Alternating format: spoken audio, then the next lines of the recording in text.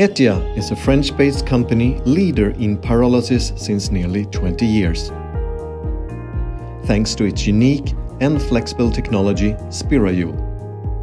Beyond technology, Etia is bringing a complete solution to its client to recycle plastics into new, high added value chemical products. The management explains how Etia reinvents plastic beyond the oil and gas industry. Uh, Olivier, you are the president and co-founder. Uh, tell us, what is Etia? Actually, Etia, it's an innovative company that we have created 30 years ago uh, with one of my colleagues. And uh, from that time, uh, the main activity of the company was to develop innovative solutions. I'm very happy to see that after 30 years, it's still the DNA of the company. Okay, but with innovation, um, what are your main drives for this long experience in the market? Uh, I would say that for us, innovation means not only to provide solutions for functional needs, but also to provide solutions that move society one step ahead. Mm. What was the first technology uh, that you started with? I would say that our most disruptive technology is named Spirajoule. This is an electrical heating screw conveyor. And uh, with kind of humor, we like to say that Archimedes has invented the screw. But Etia has uh, invented the fact that we can plug the screw directly on an electrical current to heat up the product during transportation. Because we can control very precisely the temp temperature and time, uh, our first market was actually the sterilization of spices and herbs. And uh, I would say that uh, even today, we are still the world leader in this uh, activity uh, with probably more than 90 units installed in roughly 40 countries. Philippe, you are the Deputy General Manager. Uh, being so deep in the food uh, business, how did you make it uh, to where you are now? Uh, actually, in 2003, uh, we decided uh, to change our Spirajoule technology towards pyrolysis process to transform biomass into bioproduct and renewable energy. So to do that, we mainly increase the temperature of the Spirajoule, and we call that the. And our first client was a client that wanted to transform sawdust into uh, liquid aromas. And this first unit is still running 17 years after. So after that, there, are, there were a lot of different uh, uh, steps towards different kind of feedstock like biomass, RDF, sludges, and of course, uh, plastics. But at the end, the key element is not only the technology, it is mainly the business model. Okay, what, what do you mean by that? Uh, I mean that uh, we are able to manage different kind of feedstocks, but also we can run at a wide range of uh, temperature and residence time. And um, in pyrolysis, when you change the operational conditions, uh, you can create different phases of solid, liquid, and gas. And the ratio between these different phases will depend mainly on these operational conditions. For the biogreen, we can go from 300 degrees Celsius up to more than 1000 degrees Celsius. So this helps us to choose the right parameters to fit the right needs of the clients to optimize the value at the end. Mm-hmm. One of the main milestone, I would say, that during this uh, last 30 years was uh, 2019 when uh, we were acquired by Vow, uh, mm-hmm. which is a listed company uh, in Oslo, Norway. Uh, that happened in last October 2019, and this is a huge development for us. I would say that Vow, with a Scanship subsidiary, is already a world leader in a waste treatment solution for cruise ship industry.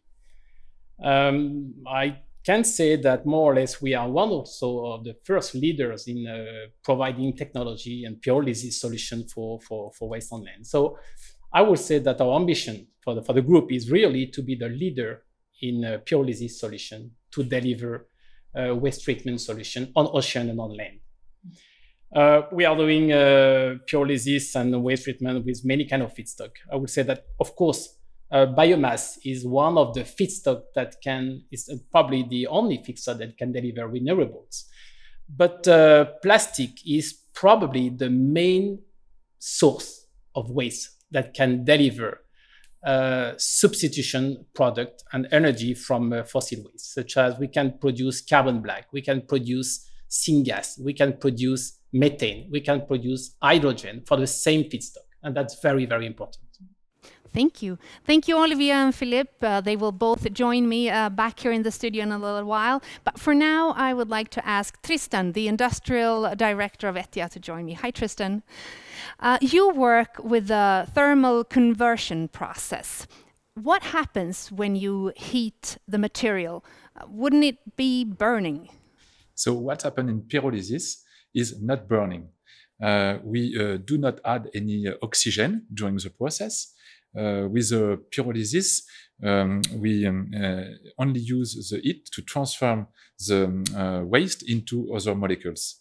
That's why we use to call the pyrolysis process chemical recycling. Can you tell us a little bit more? Can you explain how the technology works? So, biogreen technology is a continuous process, meaning that the production can be continuous without any interruption of uh, the flow of product uh, 24 hours a day, seven days a week.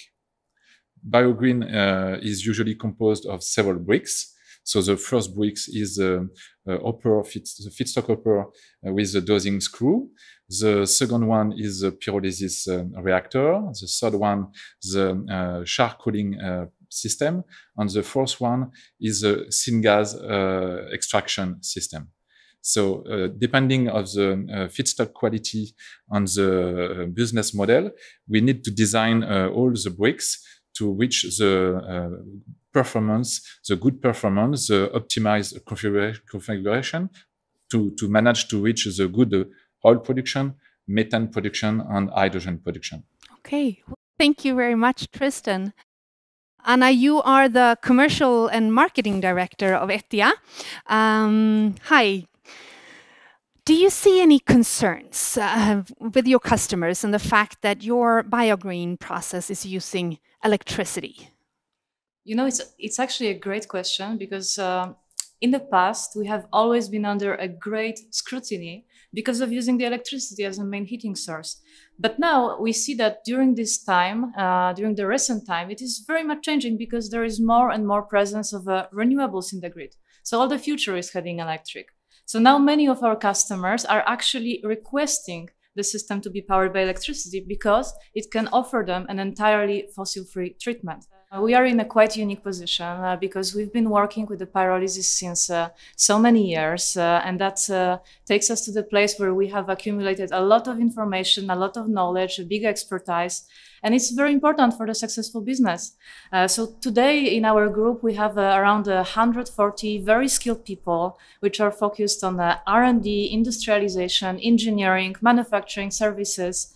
And uh, you know, when we speak about R&D, uh, today 80% of uh, what we are doing in R&D is actually not the pyrolysis reactor itself, because the pyrolysis have been already developed over 15 years ago.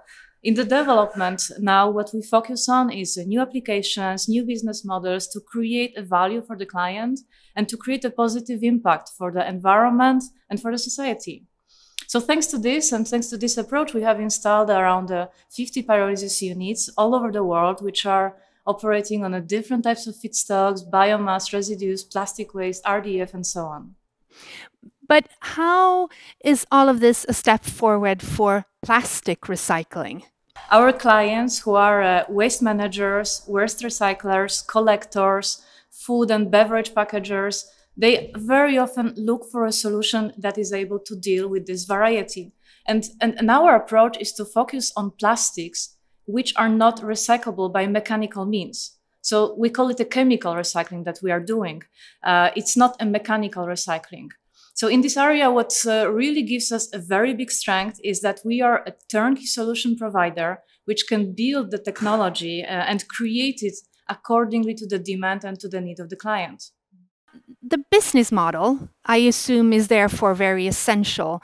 Uh, what would you say um, are the main parameters to get a profitable project? At the end of the day, with everything that we do, it is about the value that we can bring to the client and about the positive impact that we can make to the environment. And these are the two that we are really willing to maximize. So in order to choose the projects where we can be the most meaningful, we need to really pay attention not only to the technical part, but also to the economical constraints. So we need to be very vigilant towards the factors such as the price of the plastics or a gate fee of plastics, necessary preparation, economy of scale, logistics of the client, logistics of the offtake, because all these factors will really create a successful project. Thank you very much, Anna and Neshla. Um, we would like to uh, wrap this up the way we started. Philippe and Olivier, please join me here once again in the studio at your headquarters where a lot of work is going on. Um, Philippe, what are the new projects that you are working on when it comes to plastics? Uh, we're working on a lot of different projects, and in particular, we are working on a project with a French waste uh, manager, which is named uh, Simevad. And the objective of this project is to demonstrate the technical and economic interest of producing hydrogen and carbon from plastics that are not recyclable with the classic uh, uh, technologies why would you want to produce hydrogen coming from plastics? Uh, actually, uh, um, plastic is a mix of hydrogen and, uh, and carbon. And so producing hydrogen from plastics is a way to come back to the original molecules. To do that, we need to heat at a very high temperature, more than 1000 degrees Celsius. And the beauty of that is that the hydrogen that you will produce uh, can be raw material for chemical industries or a very low carbon uh, energy carrier. And on top of that, you have some carbon as a solid that is a carbon sink that can be used for different uh, industrial products. Okay, do you work on uh, other applications? Uh, yes, uh, because uh, as we are very flexible with the same feedstock, we can change the operational uh, conditions, and we can, for instance, uh, produce mainly some uh, oil. And we can see in the market right now there is more and more interest for for this way, mainly from the oil and gas industry. Uh, Olivier, I think uh, the viewers and I might be wondering: Do you have some plastic units running?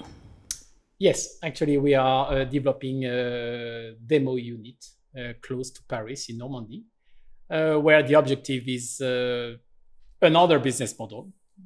we have spoke about business model to produce hydrogen from, from, from plastic, to produce methane from plastic, but we can also turn plastic into electricity. And this is a very useful application and business model. Maybe not for Europe because we know that price of electricity is quite cheap, but in coastal cities or, or island where they have two problems. One is big quantity of plastic waste. Second is high price for electricity. And uh, what we are doing is turning plastic into syngas, then burning the gas into an engine to produce electricity. So, I, if I understand it correctly, solving plastic pollution is actually at the core of your mission, isn't it? Of course, we want to uh, to limit the, the, the plastic pollution in ocean and on land. But what to do is to limit, but not to eliminate the plastic, but we really want to use plastic uh, as a raw material to provide other molecules. Uh, and if we do that, we can avoid the utilization of uh, fossil material, native fossil material, and then we avoid CO2 emission as well. If you were to uh, give the audience one last sentence, why ETIA? Well, uh, I would say that uh, just because we want simply uh, reinvent uh, oil and gas industry.